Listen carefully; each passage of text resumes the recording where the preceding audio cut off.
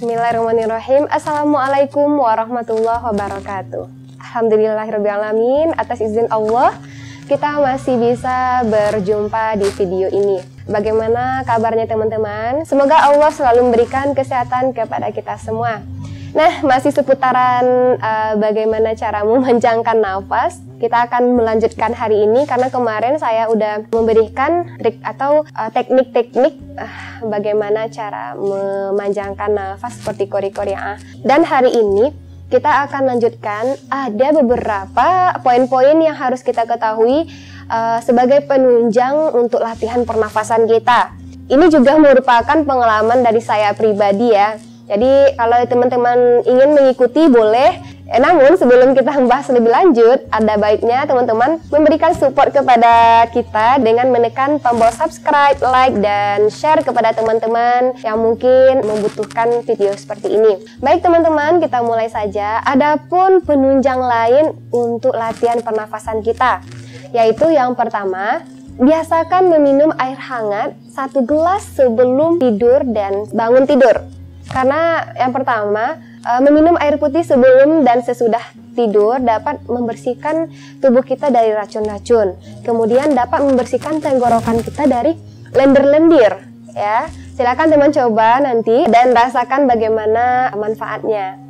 Kemudian yang kedua, perhatikan makanan. Teman-teman harus memperhatikan makanan yang teman-teman konsumsi. Dan saya sarankan, minumlah banyak-banyak air putih di siang hari, kemudian uh, makan buah-buahan dan sayur-sayuran yang mengandung air ya karena makanan itu dapat mengganggu sistem pernafasan kita gitu kan di mana kalau sistem pernafasan kita terganggu otomatis suara kita juga akan terganggu ya seperti batuk, serak dan lain-lainnya. Kemudian eh, teman-teman jangan merokok karena itu dapat memberikan racun pada tubuh kita ya.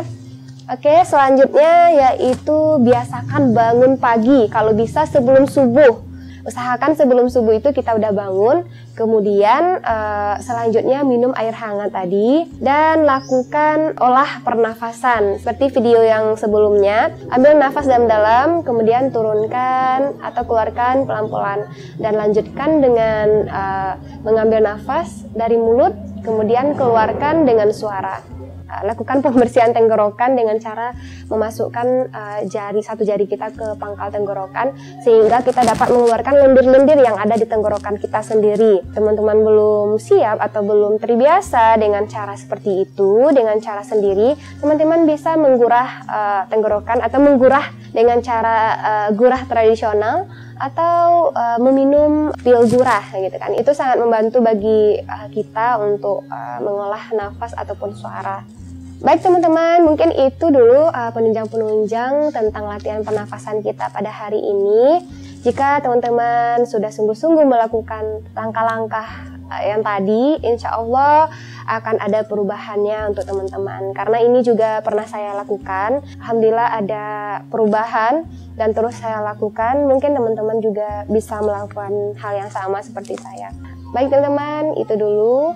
Semoga bermanfaat dan uh, menjadah wajadah. Siapa yang bersungguh-sungguh ia akan mendapatkan. Bagi teman-teman yang merasa ini bermanfaat, silakan di-share kepada teman-teman yang mungkin membutuhkan video-video seperti ini. Saya mohon maaf jika ada kekurangan-kekurangan dalam penyampaian dan sampai jumpa lagi di video selanjutnya insya Allah. Assalamualaikum warahmatullahi wabarakatuh.